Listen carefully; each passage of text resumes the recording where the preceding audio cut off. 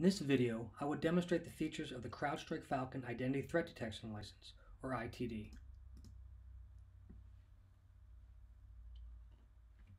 We'll start with the Insights and Analytics page. Visibility is key to understanding what you have in your domain now and how you are configured and segmented by groups. ITD will tell you how many service accounts versus human accounts you have, how many are privileged, and what weaknesses they may have in the passwords that would be easy to compromise, for instance in a brute force or dictionary attack.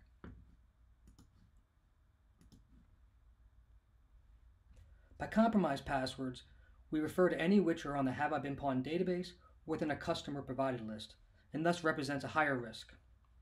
Account classification is automatic from the moment of installation and continues, letting you see trends over time, with spikes of new privileged users or end users who may not be in line with your password rotation policy. ITD offers suggestions for replacing weak protocols that may be in use and lets you gain visibility into potential attack paths, which can lead to, to privilege escalations and more. Let's take a look how to detect identity-based incidents.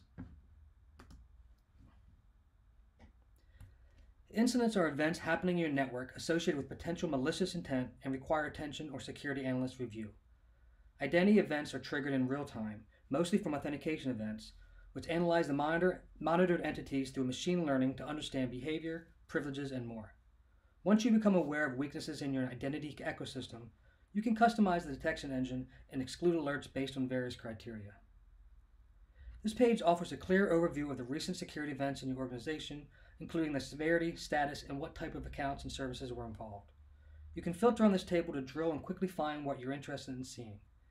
Filtering is easy if you're looking for activities associated with specific attack patterns or trying to find particular compromised entities. Once you select an incident, you can dive in for additional details. A single incident page will provide you with a clear timeline of all the connected events.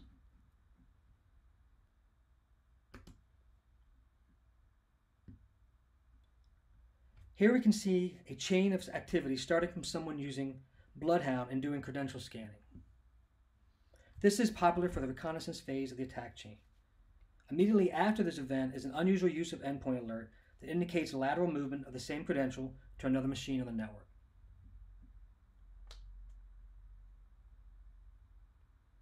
If we follow the timeline of these events, we'll see another type of credential attempt indicator here, namely a golden ticket alert. These alerts and information can all be escalated through email from the interface or exported via API to other platforms like a SIEM, ticketing, or SOAR.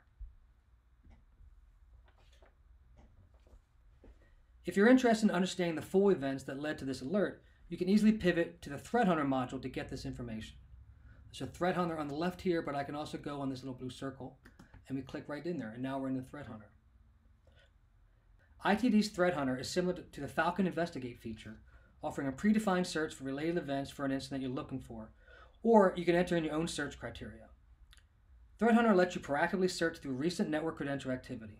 This can be a great starting point for post-incident investigation and response.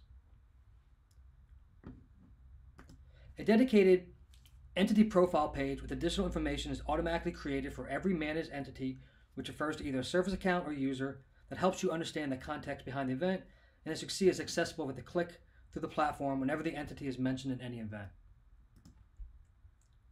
Within this entity profile, you'll find meaningful information such as metadata like the creation date, last password change, and more advanced analytics like the risk score and its contributing factors, or assets that are usually accessed for this entity and their relationship type. If you want to focus on high risk activity, you go to the risk section here, and you can also see the different factors leading to that score and best practices for how to resolve them.